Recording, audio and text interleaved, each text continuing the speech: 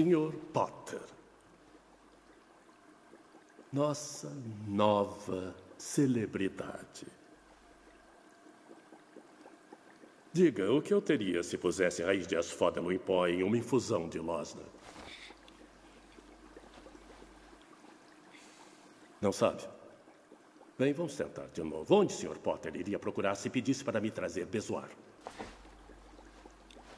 Eu, eu não sei, senhor. Qual é a diferença entre acônito licóctono e acônito lapelo? Eu não sei, senhor. Que pena.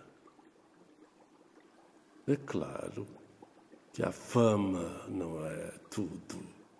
Não é, Sr. Potter?